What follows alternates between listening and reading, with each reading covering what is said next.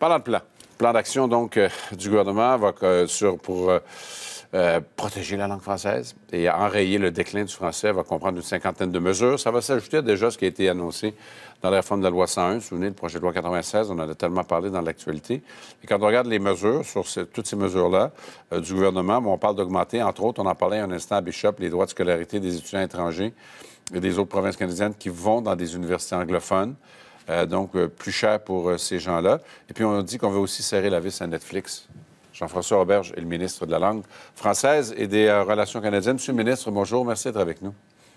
Bonjour, Monsieur Jean, ça va bien? Ça va très bien, merci. tout le monde s'entend sur l'utilité, même la nécessité l'importance de préserver le français. Je pense que tout le monde s'entend aussi pour dire que le français est une langue menacée en, en, Amérique du Nord.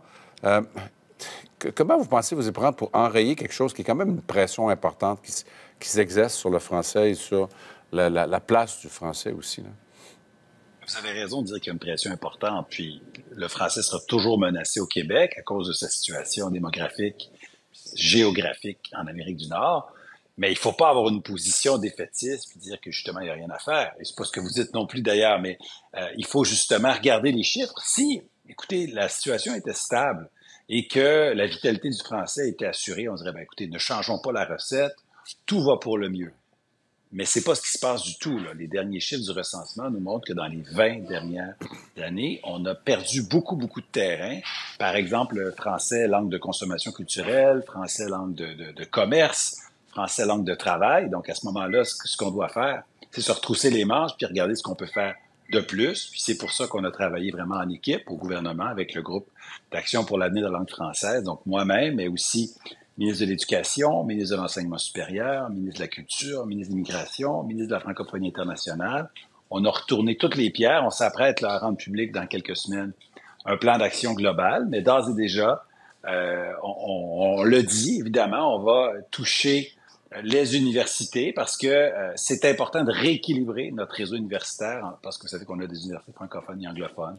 Et, c'est certain qu'on va devoir aller là. C'est ma collègue Pascal Léry qui donnerait les détails. Mais en quoi rendre l'université anglophone plus chère va permettre d'améliorer la situation du français au Québec? Là? Euh, moi, je ne vous, parlerai pas de la, mesure qui sera rendue publique demain, mais ce que je dois dire, c'est qu'on doit rééquilibrer euh, les choses.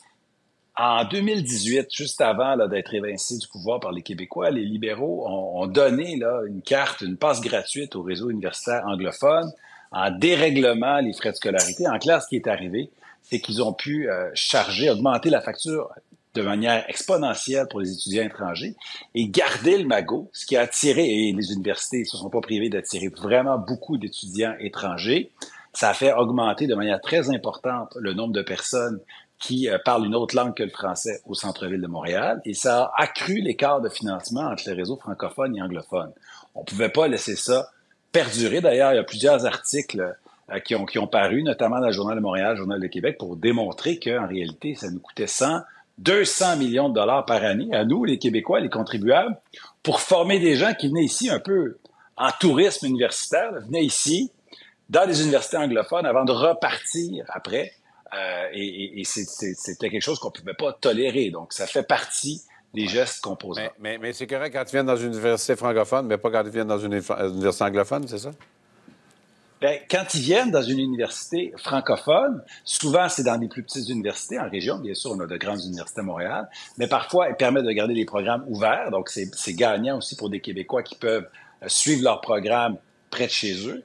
Et il y a aussi le fait que lorsqu'on injecte à Montréal, sur l'île, là où on, disons-nous, là, disons-le, ça va pas bien pour le français. 10 000, 20 000, 30 000 personnes qui parlent pas français. Bien, c'est sûr que ça a une conséquence. Ces gens-là, bien sûr, circulent, travaillent, ont des emplois étudiants, et ça risque de contribuer à l'anglicisation. Si en ce moment la situation était au beau fixe et que rien ne changeait depuis 10 ans, 20 ans, 30 ans, on dirait, écoutez, laissons ça comme ça. Mais ce qu'on voit, c'est une détérioration de la situation du français au Québec et à Montréal. C'est pour ça qu'on doit euh, qu'on doit bouger, notamment dans le milieu universitaire. On va aussi bouger en culture, on va aussi bouger en éducation. On va aussi Mais si je comprends bien votre titre, M. Robert, c'est Montréal. Ben, la, la, la, question de la vitalité du français se pose euh, de manière plus grande à Montréal. Mais pas seulement, parce que euh, quand on pense, par exemple, à la consommation culturelle, quand on regarde au début des années 2000, la plupart des Québécois, surtout les jeunes, disons les moins de 30 ans, écoutaient euh, la télévision, le classique. On écoutait TVA, on écoutait les postes, comme on dit. Maintenant, les jeunes sont beaucoup plus sur des plateformes de diffusion en ligne et le contenu qui leur est suggéré, les séries, les films, c'est surtout des choses qui viennent du milieu anglo-saxon. Évidemment, les gens choisiront toujours ce qu'ils veulent écouter. On n'est pas des censeurs.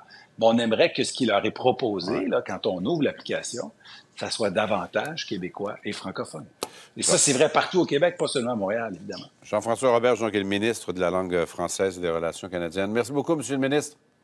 Merci. Au revoir. Bonne journée. Au revoir.